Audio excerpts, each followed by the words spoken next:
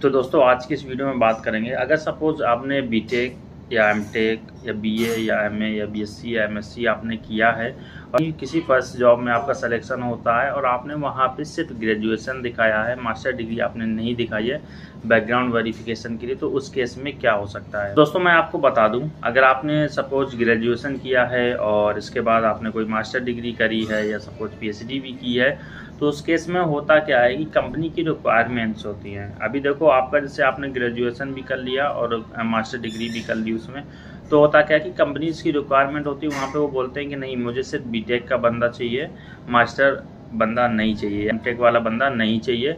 या फिर कई जगह क्या होता है कि आपका वहाँ पे प्रेफरेंस होती है कि मुझे एम वाला बंदा चाहिए तो वहाँ पे ये दोनों चीज़ें अप्लाई होती हैं। अगर इन केस किसी कंपनी में आपका सिलेक्शन हुआ और वहाँ पे उन्होंने आपसे बीटेक तक के डॉक्यूमेंट्स मांगे, या बीए तक के, या बीएससी तक की डॉक्यूमेंट्स आप, आपसे मांगे हैं वहाँ पे फिल करने के लिए उस वेबसाइट पे जो बैकग्राउंड वेरिफिकेशन पोर्टल होता है तो आप सिर्फ़ बीएससी के भी डॉक्यूमेंट्स वहाँ पे भर सकते हो। ज़रूरी नहीं कि आप एमएससी के वहाँ पे भरो।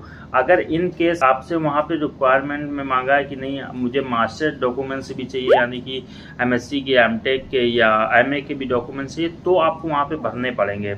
आपके बीएससी के भी, आपके एमएससी के भी। लेकिन ये कहीं भी नहीं है, इस चीज़ के वहाँ पे प्रॉब्लम नहीं होती है कि नहीं, आपने एम किया और आपने डॉक्यूमेंट बीएससी तक के भी डाले हैं। अगर ये आप उसमें फिल करते हो तब भी कोई प्रॉब्लम नहीं होगी। अगर आप उसमें फिल नहीं भी करते हो, तब भी आपको कोई प्रॉब्लम नहीं होगी। और ये डिपेंड करता है कि कंपनी की रिक्वायरमेंट कैसी है। वहाँ पे कई बार उन्हें मास्टर डिग्री वाला बंदा चाहिए होता है, कई बार उनको सिर्फ़ ग्रेजुएशन वाला ही बंदा चाहिए होता है। तो उस चीज़ में आपको डाउट में नहीं पड़ना है कि नहीं यार, मैंने तो एम किया था, मैंने जो डॉक्यूमेंट्स बैकग्राउंड वेरिफिकेशन में डाले, वो ग्रेजुएशन तक के डाले आप डाल भी सकते हो, नहीं भी डाल सकते हो, या कंपनी के एच को वहाँ पे बता भी सकते हो। तो आई होप आप समझ गए होगे कि जो इन दोनों में डिफरेंस होता है या इन दोनों का कन्फ्यूज़न होता है वो एग्जैक्टली होता क्या है?